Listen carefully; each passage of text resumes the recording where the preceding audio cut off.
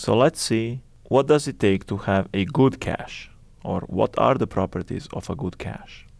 We want our system to have a good average memory access time or AMAT and this is the access time to memory as seen by the processor.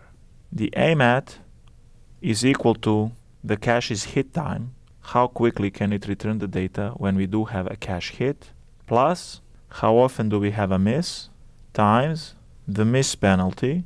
We want the AMAT to be very low, the lower the better. This means that we want the hit time to be low, which means we want a small and fast cache because that will contribute to having this be low. We want a low miss rate, which means we want our cache to be large and or smart. If it's a large cache, more stuff will fit in it, so we will miss less often. Or if it's smart, it will know better what to keep inside, so again we will have fewer misses. The miss penalty for simple caches is simply the main memory access time. This is going to be very large, usually tens or even hundreds of processor cycles. So really when we're designing caches, we're trying to balance the hit time and the miss rate.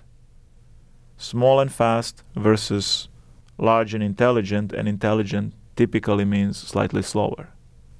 So some caches can be extremely small and fast, have very good hit time, but sometimes that's at the expense of having a larger miss rate.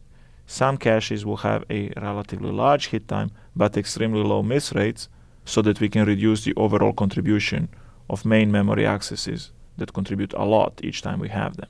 Sometimes we also talk about miss time, which is the overall time it takes to have a cache miss. A miss time is simply the hit time followed by the miss penalty because we try to find what we have in the cache but fail and then we still have to pay the miss penalty.